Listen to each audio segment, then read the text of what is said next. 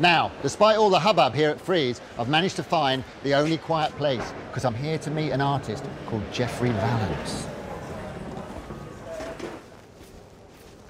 Hello, Jeffrey. Oh, hello. nice to see you. And Grant, hello. Hello. All right.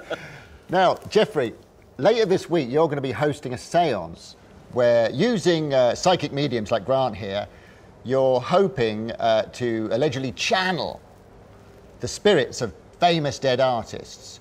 And uh, which artists are you hoping to uh, contact? Well, we're hoping to get, but it, it's not sure, but we're hoping to get Leonardo da Vinci and uh, Jackson Pollock and Frida Kahlo, Marcel Duchamp, and uh, Vincent van Gogh. What specifically are you interested in about their reaction to Frieze Art Fair? Usually the, the, the art world likes their artists dead, you know, because uh, then, you know, uh, critics can write their art books and, and, and, you know, and the artists have nothing to say, they don't speak up. So in a way, it's like doing exactly the wrong thing by having the artist speak from the dead, you know. And Do you think they could spoil the market? Exactly.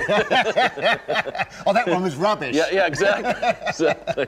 And Grant, I mean, um, have you got an artist with you now that you can talk to? I've got Andy Warhol with me today. Andy Warhol. Yeah, Andy Warhol. Yeah. Uh, could I speak to Andy now? You can speak th- through me to him because he's standing right next to you right this Oh, my minute. goodness. He's drawn to you and he's laughing and he's endeared to your pink tights at the moment and he wants to come and sit on your lap. So, what does Andy Warhol think of Frieze Art Fair? He loves it. He loves the feel of it. He's excited, uh, very much around his work where I stood earlier on. He, there was a big energy vibe and a big buzz. But there is this confusion around somebody faking his work and he doesn't like it. Um, he can't do anything about it, but he says he's not happy about it. We always saw the sort of the showbiz side, the you know the crazy side of Andy, and I think there was a serious side that we don't know that much about, that we're trying to get at today. Some people, they don't necessarily believe in this idea that we can channel and speak to the spirit world. And, and, and do you think there's a place for it in the art world, Jeffrey?